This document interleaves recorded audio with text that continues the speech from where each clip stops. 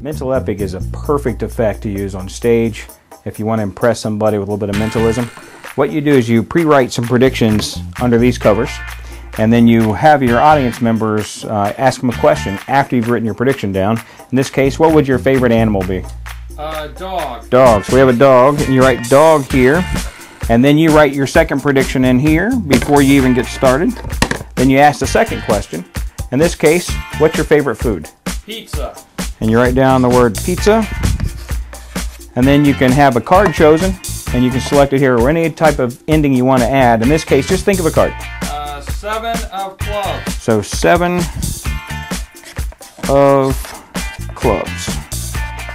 And then at the finale, you show them that you did indeed predict that they would think of the dog, the favorite food was a pizza, and then of course their card was a seven of